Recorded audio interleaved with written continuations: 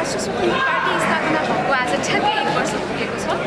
Party स्थापना भएको दिनदेखि नै हामी निरन्तर रूपमा केही समय निर्वाचनभन्दा अगाडि जिल्लाहरू गयौँ विभिन्न जिल्लाहरूमा गयौँ त्यस पछाडि निर्वाचनमा भाग लियौँ। निर्वाचनमा भाग लिइसके पछाडि प्रत्यक्ष निर्वाचित साथीहरू केही आउनुभयो। समानुपातिकताबाट पनि साथीहरू आउनुभयो। सदनमा हाम्रो प्रस्तुति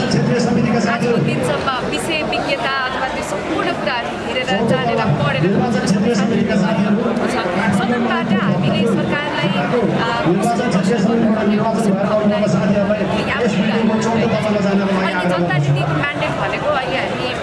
मतको आधारले हेर्ने हो भनेदेखि चौथो राष्ट्रिय दल हो त्यो अनुसारले हामी प्रतिपक्षमा बसेर सरकारलाई रचनात्मक प्रतिपक्षको रूपमा उहाँहरूले गर्नुभएका काम कारवाहीका सुझावसहित होइन खबरदारी गरेर कुरा काट्ने मात्रै होइन खोजमेज मात्रै होइन सुझावसहित उहाँहरूलाई खबरदारी गरिरहेका छौँ आगामी दिनमा पनि हामी यसरी नै पढ्ने तयारीमा छौँ यसरी नै गर्छौँ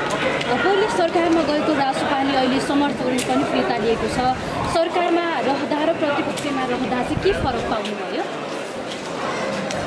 सरकार पक्षमा हुँदाखेरि केही समय के हुँदो रहेछ भनेदेखि हामीलाई निर्वाचन भएर जाने बित्तिकै सरकारमा हुँदाखेरि हामी धेरै काम सकुला भन्ने हामीलाई लागेको थियो अनि हामीले एउटा सरकारले त्यो न्यूनतम साझा कार्यक्रममा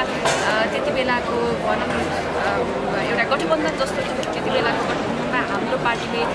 स्वीकारेका हाम्रो पार्टीको अवधारणाले स्वीकारेका धेरै कुराहरू त्यहाँ समेटिएका थियो त्यो आधारले हामी ल ठिकै छ कुरा हुन्छ होला भनेर हामी सरकारमा गयौँ तर हामीले सोचेको जस्तो अपेक्षा काम पछाडि चाहिँ हामीले बाहिर निर्णय गऱ्यौँ सरकारलाई खबरदारी गरेका छौँ सत्ता पक्षमा हुँदाखेरि कहिले हुन्छ भने प्रश्न गर्न चाहे तापनि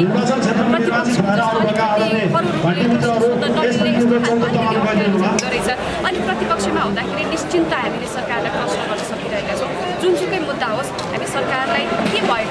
के भएको कसो भएको के गर्नुपर्ने सुझाव पाएका छौँ हामी खुल्न पाएका छौँ। प्रतिपक्षमा चाहिँ खुल्न पाइरहेको छ प्रतिपक्षमा